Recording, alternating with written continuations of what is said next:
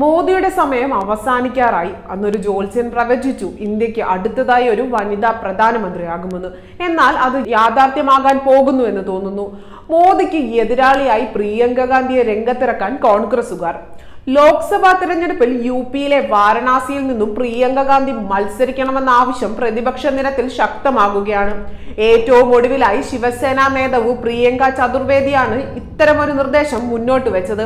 India മുന്നണി മുന്നിൽ തന്നെയുണ്ട്. വാരണാസിയിൽ പ്രധാനമന്ത്രി നരേന്ദ്രമോദിക്കെതിരെ ആര് മത്സരിക്കുമെന്ന് സംബന്ധിച്ച പ്രതിപക്ഷ സഖ്യം യോജിച്ച് ചർച്ച ചെയ്യുകയാണ്.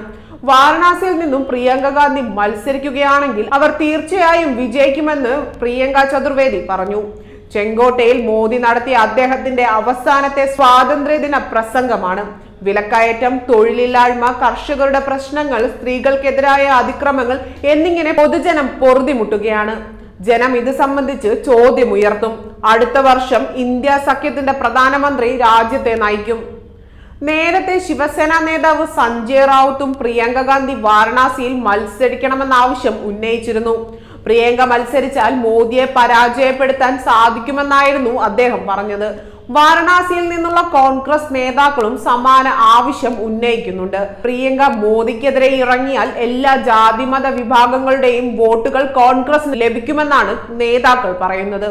മാത്രമല്ല മോദിയുടെ തട്ടകത്തിൽ അദ്ദേഹത്തിനെതിരെ പോര് കടുപ്പിക്കാൻ കഴിയുമെന്നും ഇന്ത്യ സഖ്യത്തിന് തന്നെ ഊർജം പകരുന്നതായിരിക്കും നടപടിയെന്നുമാണ് നേതാക്കൾ ചൂണ്ടിക്കാണിക്കുന്നത്. അതേസമയം പ്രിയങ്ക ഗാന്ധി ലോക്സഭാ തെരഞ്ഞെടുപ്പിൽ മത്സരിച്ചാൽ തന്നെ അതൊരിക്കലും നരേന്ദ്രമോദിക്കെതിരെ ആയിരിക്കില്ല എന്ന് തന്നെയാണ് രാഷ്ട്രീയ നിരീക്ഷകർ വിലയിരുത്തുന്നത്.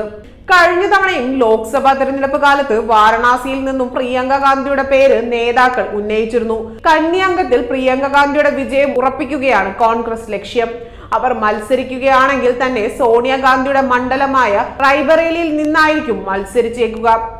ആരോഗ്യ പ്രശ്നങ്ങൾ നേരിടുന്ന സോണിയാഗാന്ധി രണ്ടായിരത്തി ഇരുപത്തിനാലിലെ ലോക്സഭാ തെരഞ്ഞെടുപ്പിൽ റൈബറേലി മണ്ഡലത്തിൽ നിന്നും മത്സരിക്കാനുള്ള സാധ്യതയില്ല. കോൺഗ്രസിനുള്ള ഏക സീറ്റാണ് റേബറേലി. സോണിയയെ കർണാടകയിൽ നിന്നും രാജസ്ഥാനിലേക്ക് മത്സരിപ്പിച്ച പ്രിയങ്ക ഗാന്ധിയെ റെയ്ബറേലിയിൽ നിന്ന് സ്ഥാനാർത്ഥിയാക്കാനുള്ള ചർച്ചകൾ കോൺഗ്രസിൽ നടക്കുന്നുണ്ട്. പ്രിയങ്ക ഗാന്ധി റെയ്ബറേലിയിൽ മത്സരിച്ചാൽ സീറ്റ് നിലനിർത്താനാകുമെന്ന് നേതൃത്വം കരുതുന്നത്.